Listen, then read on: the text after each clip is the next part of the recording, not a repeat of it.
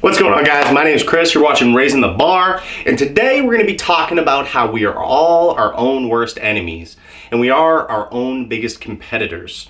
Okay, so this is something I think we all have suffered from at some point or another in our lives, and sometimes it can be difficult to escape that overly critical nature that we impose upon ourselves and that judgment and perhaps resentment about the things that we've done. So today we're going to be talking about seven ways that we can go about escaping that overly critical mind space and help get you back onto a healthy headspace and a healthy track to conquering your goals. So number one is identify your negative thoughts. So, on a daily basis, if there is some repetition that's taking place where you're self loathing and maybe you feel like you suck or you're boring or you're not entertaining or you're not attractive, well, identify all of those different keywords that keep popping up into your head about how you view yourself on a daily basis. Next thing I want you to do is take out a paper and write down all of those words. Because what we want to do is we want to get a very clear idea as to how your personal perception is so that way we can reverse engineer and figure out exactly why you feel this way. Step two, I want you to identify those terms. So when you say you suck, why do you suck? Why do you feel that way? What is it that you think sucks about you? How do you define sucking? Or if you think you're ugly, why do you think you're ugly? How do you define that? I want you to take all those terms that you put together in step one, and I want you to identify how you define them. So that way we can have a very clear understanding as to how you define these characteristics that you've imposed upon yourself. Now, the next thing I want you to do, and this is step three, I want you to identify any evidence that you happen to have that pertains to all of those terms that you identified earlier. So what do I mean by that? Well, if you happen to think that you're boring, why do you why is it that you think you're boring? What evidence has presented itself in your life that has led you to believe that you are in fact boring? Or whatever those terms happen to be for you. What evidence do you have to back those claims? Write them down. Step 4. I want you to write down the advantage of criticizing yourself. What do you get out of that? Now, there's a couple ways to look at this one because I personally criticize myself all the time. Not to the point where I put myself down, but to the point where I can assess and identify areas where I could become better. All right, so I don't look at it as, oh, I'm terrible. I look at it as, how can I get better? So I want you to think about your reasons for self criticism and I want you to write those down. What are you getting out of it that's positive? Step five I want you to replace that self-criticism with reward.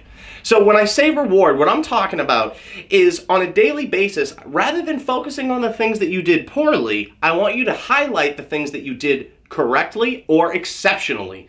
So pull out that same paper and I want you to write down things that you felt you did good today. And it could be small things, by the way. Maybe you made your bed, maybe you cooked food, uh, anything right? But I want you to write down any of the positive things that you did with your day and put those in a separate column.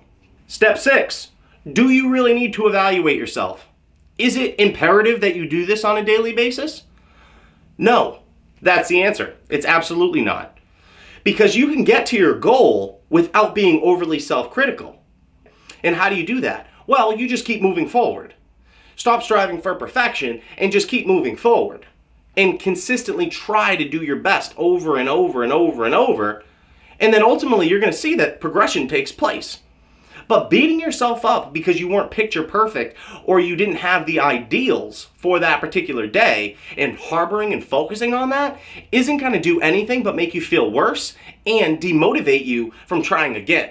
So, if we replaced that self evaluation period at the end of the day with basically things that we could do the next day and how we're going to improve. Just the first thing you could think of is how we're going to improve. Not, I did this bad and focusing on that. Oh, I did this terribly. It would be like, well, let's say I filmed this video and let's say I stumbled on my words or I didn't do it in one single take.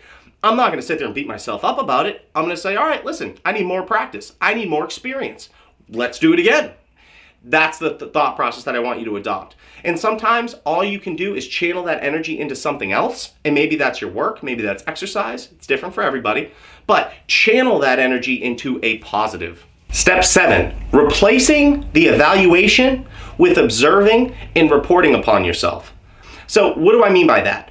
Firstly, nobody is going to be perfect. And I think there's a level of acceptance that needs to take place.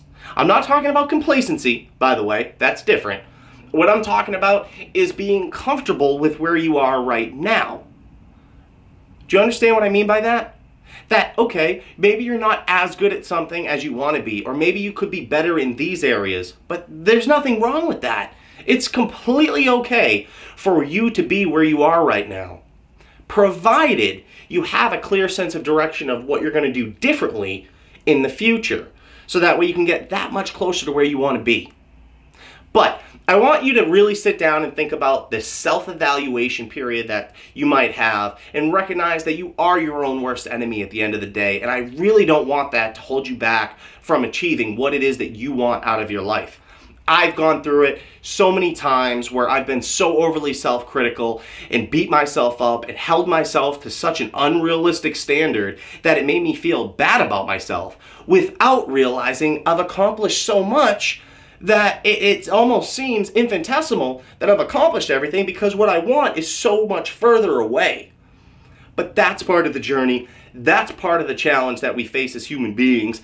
And ultimately, at the end of the day, what you need to sit down and reflect on is what you've accomplished, what you do that's positive on a daily basis, as opposed to focusing on the negative. Because that negative is going to do nothing but bring you down. So, do your best, Focus on your goals. Keep it on the forefront of your mind. That self-evaluation period, keep it in perspective. Don't harbor any guilt or self-loathing on a daily basis. And hopefully you can power forward and achieve your goals and do what you want with your life without chaining yourself together. And with that, guys, I am out of here. Have a great day. Feel free to comment, like, and subscribe down below. And always visit my website, rtbtransformations.com. And with that, guys, I am out of here. Make today great.